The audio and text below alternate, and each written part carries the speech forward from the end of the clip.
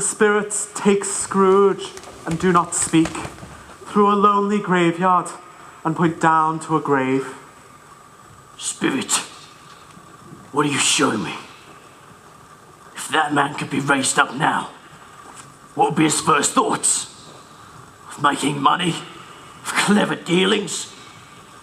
Lying there with not a man, woman, or child to say was kind to me for this or that.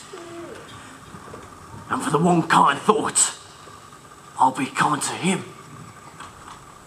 Spirit, tell me, am I that man?